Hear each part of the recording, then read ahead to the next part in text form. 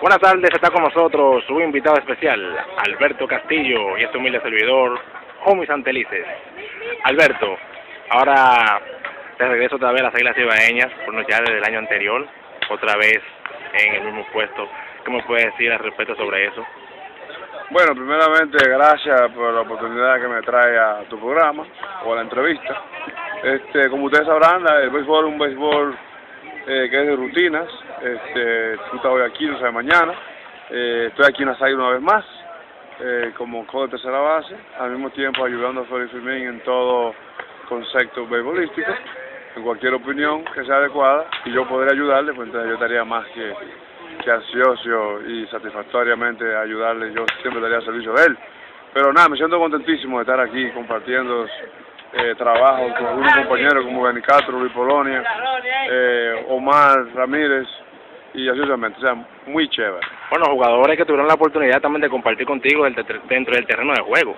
Claro que sí, cuando yo llegué aquí a Sayas Ibaeña en 1993, eh, a una edad eh, 19, eh, 18 años ya, eh, muy joven, Omar Ramírez, Luis Polonia, eh, Stanley Javier, Monsalvo ya estaban acá. El mismo señor Félix Fermín, quien hoy es el dirigente. Eh, nada, muy, muy complacido. Creo que ha sido una trayectoria eh, chulísima, magnífica, y todavía seguimos desarrollando servicios sobre ese gran trabajo que hicimos en aquel tiempo.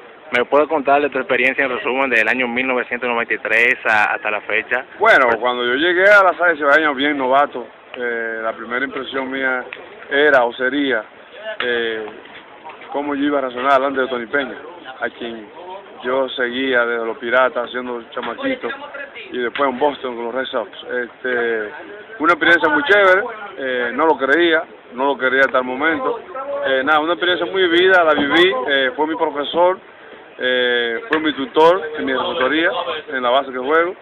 Y nada, un fiel admirador de él y todavía sigo admirándolo en el trabajo que hizo.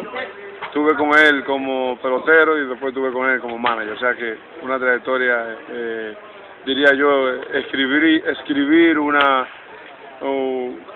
una historia, un libro o un folleto para que la gente eh, sepa qué hizo Alberto Castillo en ese entonces, en aquel tiempo. Alberto, la gente quisiera saber quién fue Alberto Castillo antes de ser el titular de las Águilas Ibaeñas, antes de ser pelotero profesional. Bueno, este, yo soy de un pueblo eh, pequeño, eh, las matas de Fafán, donde mucha gente todavía crece, yo soy de Santiago. Este, yo me crié en una familia de ocho jóvenes, tres hombres y cinco varones. Mi papá y mi mamá eh, humildemente fuimos criados con yuca, batata, arroz, chenchen, humildemente. Este, me dediqué a, a lavar carro antes de ingresar a ser pelotero profesional. De ahí tuve la oportunidad de manejar un camión cargando arena en una ferretería. O sea, esa es una historia larga de contar. Este, después que llegué ya ingresé al béisbol organizado, que le agradezco muchísimo al señor Eddie Toledo, donde agradezco mucho de esto que fui firmado por los Mets de Nueva York en eso entonces.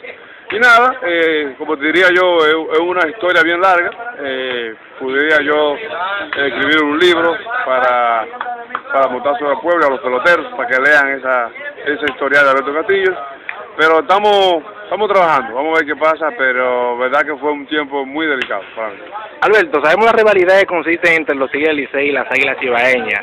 Cuando tuviste la oportunidad de estar con las Águilas, cuando las Águilas se enfrentaron en varias ocasiones con los Tigres Licey en las finales, ¿cuál era, o sea, qué sentía en este momento? ¿Siempre tenía mucho deseo de ganar los Tigres Licey en ese momento? Bueno, como tú sabrás, fueron los dos equipos que verdaderamente revivieron el mejor aquí en este país, diría yo. Eh, si ustedes recuerdan, eh, los eternos rivales de este país eran verdaderamente los Tigres Licey y Leones del Escogido. Mayormente eso cambió al rumbo de los 90. Nosotros dominamos ese renglón de los 90 al 2000. Eh, fue una trayectoria muy chévere.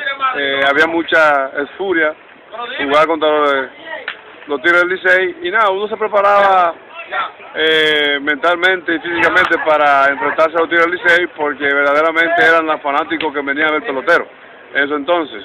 Eh, quizá en otros momentos la gente diría, pero ¿por qué tú juegas mejor contra un equipo que el otro? O si no es que, no es nada raro, es que había esa, esa contundencia entre ambos equipos y, nosotros nos forzábamos más quizás eh, para dar un 100% más en, en, esa oportunidad que en otra oportunidad, pero eh, fue algo bien chévere, esa realidad.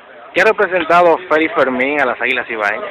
Bueno, ahí están los logros, este, el manager más ganador eh, de nuestro país, un caballero, fuera del terreno y dentro del terreno, eh, deja el pelotero jugar, conversa con el pelotero y, hoy todavía sigue eh, triunfando. Como ustedes sabrán, ya acaba de culminar la temporada en México y fue elegido el manager del año, o sea que Félix Fermín, lo mejor que puede venir aquí en este país. ¿Planeas algún futuro ser dirigente aquí en esta liga o en otras ligas? Yo no tengo ser dirigente en mis planes. Eso lo tienen lo que siguen el béisbol.